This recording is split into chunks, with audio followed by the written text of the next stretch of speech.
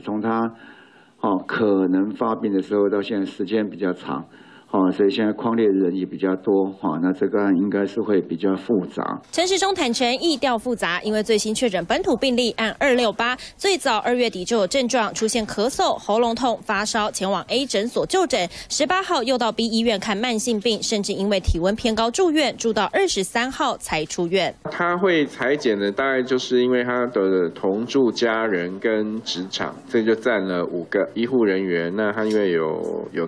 症状那也会裁剪嘛，应该一采是阴性了，所以他现在还在二采。按二六八接触者初步先框列一百零二人，其中以医护人员最多。这名北部男子离开 B 医院之后又出现发烧、呼吸喘，二十五号再到 C 医院就诊，这时候才被通报裁剪确诊阳性。算一算发病期间六度就医，时间已经拖将近一个月。我们要去回溯这一个月来哪一天到哪里接触了哪些人，有的时候印象会有点模糊，他没有相关的那个理由接触。时以后，然后又没有典型肺炎的症状，那就可能会忽略掉了。五十多岁男子发病时间长，易调难追，曾到过一间诊所、两家医院，还没有出国旅游史。专家说是典型的社区感染，包括过去几例本土个案，也还没完全厘清查明感染源。这些确诊患者都可能是社区防疫的隐忧之一。三立新闻陈俊杰、曾家轩台北报道。